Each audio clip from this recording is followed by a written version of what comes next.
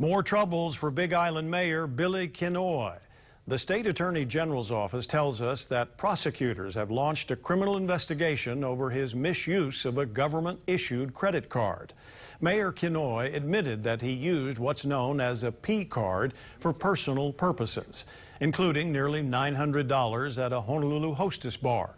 The mayor says he has paid all of it back. But now the Hawaii County prosecutor is looking at whether any laws were broken. Manolo Morales has been digging deeper and has more. Manolo?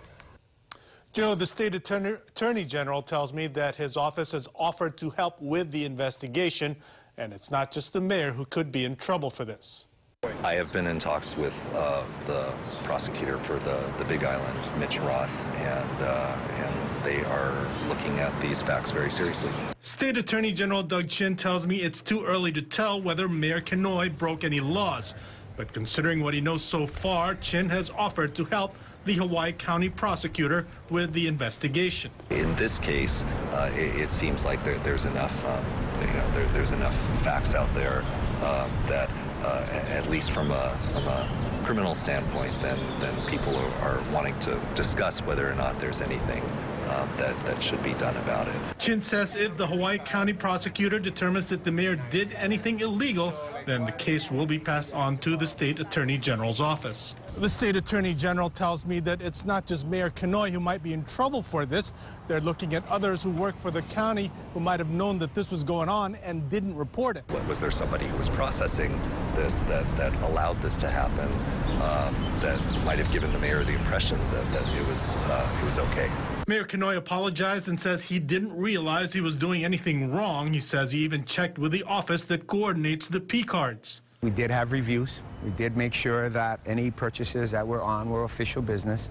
Uh, and any personal ones that I made, if I made, I just paid it back. Questions are now being raised about Mayor Kenoi's political career. HPU professor John Hart tells us any criminal charges would be devastating, but otherwise, if Big Island voters still support him, Mayor Kenoi, who still has two years in office, still has the possibility of getting elected into a higher office.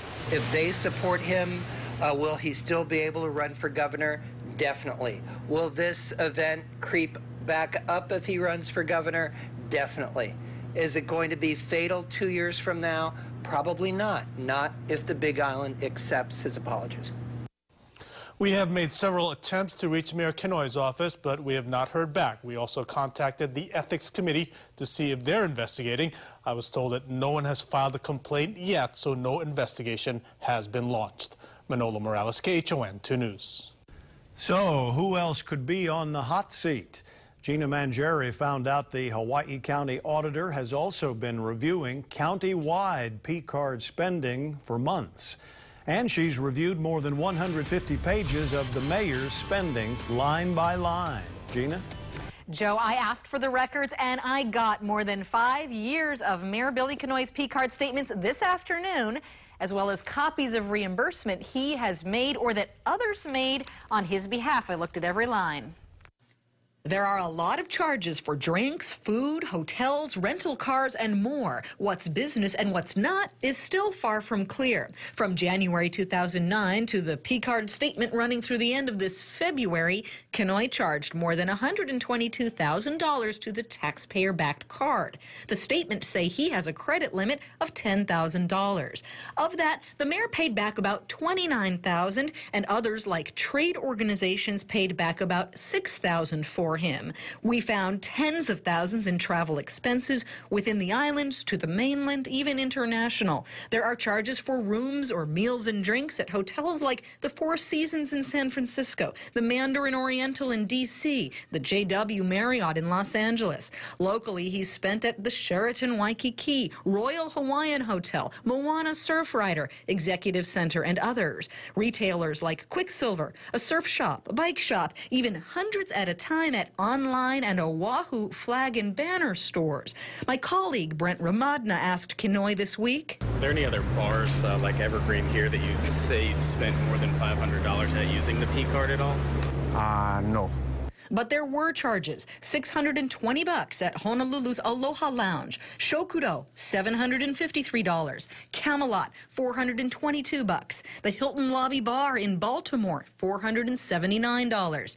Hundreds at a time at Sansei, an $800 tab at Kenichi in Kailua Kona, another there for 900, then 700 at the Palms by the Bay in Hilo. One of the smallest was six bucks at McDonald's. In addition to all that bar spending, the mayor, who is also an attorney, rang up his nearly $600 Hawaii State Bar Association dues on it. As for the alcohol, the mayor's spokesperson gave us a 1999 memo that states there's an exception allowing alcohol purchases if necessary for the entertainment of dignitaries by the mayor or others. Exceptions are supposed to have the written approval of the mayor or council chair. So I, of course, asked the county, are there written approvals on file for any of the reimbursed or unreimbursed occasions that the mayor did charge alcohol on the P card? We'll let you know when they respond. Gina Mangieri, KHON 2 News.